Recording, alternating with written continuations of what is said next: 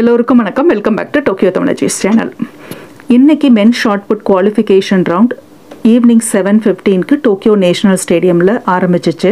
Group A பிரிவில் நம்ம நாட்டு வீரர் தஜிந்தர் பால் சிங் கலந்துட்டாரு.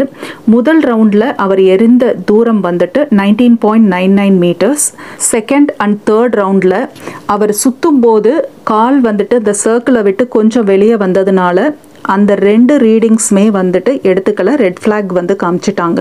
முதல் ரவுண்டில் அவர் எரிந்த தூரம் வந்து நைன்டீன் பாயிண்ட் நைன் நைன் மீட்டராக இருந்ததுனால அவர் அடுத்த ரவுண்டுக்கு வந்துட்டு குவாலிஃபை ஆகலை.